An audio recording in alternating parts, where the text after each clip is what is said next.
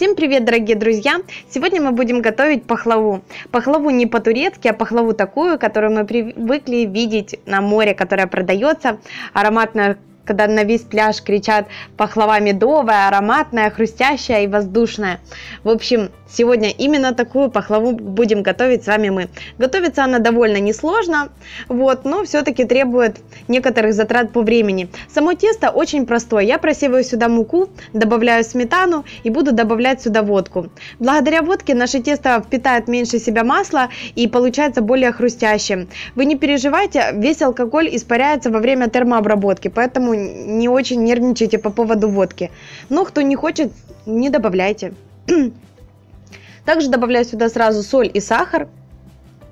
И я буду готовить в этот раз на минеральной воде газированной. Абсолютно любую самую простую газированную воду. Я, конечно, очень сомневаюсь, что на море ее делают из газировки, Поэтому, скорее всего, мне кажется, что они делают на обычной просто воде.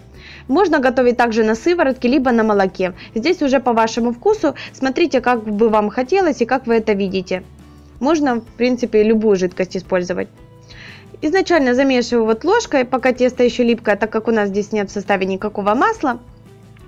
Тесто немножечко вначале липковато, но уже после там нескольких минут замеса тесто перестает липнуть к рукам. Изначально я просеяла в емкость 400 грамм муки, остальную я добавляю на подпыл, уже смотрю, сколько мне понадобится потом. Прибавляю и минут так 5 я замешиваю тесто для того, чтобы оно стало хорошо эластичным. Оно перестало липнуть к рукам. И теперь я его сверху чуть-чуть присыплю мукой и накрою вафельным полотенцем для того, чтобы тесто полежало и стало хорошо эластичным и потом очень тонко раскатывалось. обваляла в муке и накрываю. Полежало у меня тесто 20 минут. И теперь его можно разделять на части, которые удобно будет раскатать. Насколько позволяет мне мой стол и моя скалка раскатывать большие пласты, я разделила где-то третью часть теста взяла в этот раз. И буду раскатывать на весь стол. Толщина теста где-то в 1 мм. Раскатывать нужно очень толко, почти, почти как э, на штрудель. То есть практически полупрозрачное тесто. Затем после раскатки теста лучше всего немножечко подсушить. Оно должно минут 15 полежать у вас на столе, либо вы переносите тесто на э, какую-нибудь ХБ-ткань. И, и после этого вы переносите тесто и начинаем его скручивать. Тесто немножечко можно присыпать мукой, но абсолютно немножечко. От того, как вы скрутите тесто, будет зависеть размер вашей пахлавы.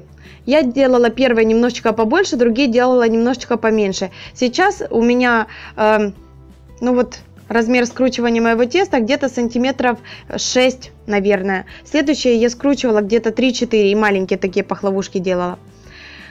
Обрезаю остаток и склеиваю немножечко. Можно смазать немножечко водой, чтобы у нас потом не расходился конец и наша пахлава не раскручивалась. И ножом аккуратненько разрезаю и расслаиваю. Если тесто у вас э, немножечко подсохшее, так как нужно было, оно у вас замечательно расслаивается и без проблем э, потом расходится у вас в масле. Вот так вот вы видите, как раскрываются все лепесточки. И вот так вот раскрываем. Долго не даем рулету нашему лежать, чтобы у нас ничего, не дай бог, не склеилось. И вот такие вот пахлавушки. Посмотрите, насколько тонкое тесто. Вот 1 мм очень тонко катаем. И теперь их можно приступать уже жарить. Масло ставим на огонь. Хорошенечко его разогреваем, можно на маленьком кусочке теста попробовать, чтобы оно шкварчало и кипело. И опускаем туда пахлаву. Она моментально всплывает и становится такой легкой-легкой и воздушной. Посмотрите, какие волдыри в ней надуваются, как проходит через нее масло. И она получается очень такая золотистая и хрустящая. Прям сразу вот хочется ее попробовать.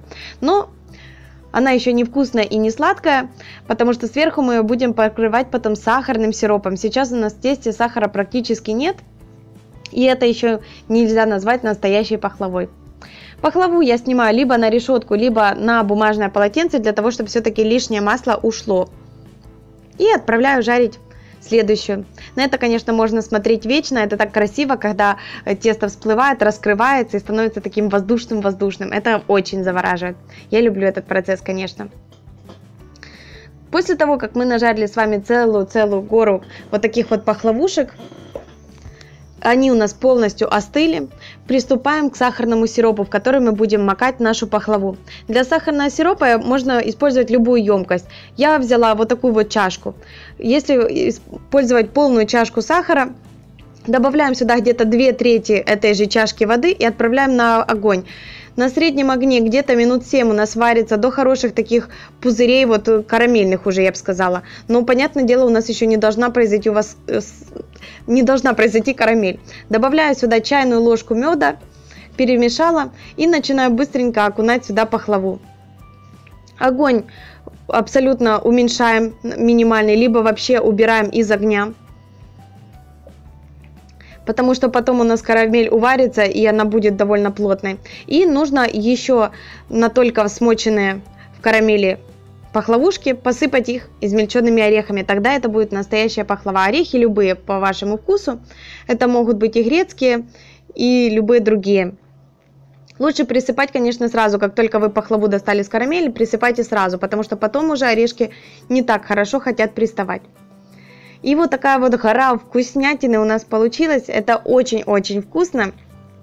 Эта гора ушла буквально за один день, у нас всем семейством кушали. И вы это тоже должны попробовать. Это реально бесподобно. С вами, как всегда, был Кекс. До новых встреч. Пока-пока.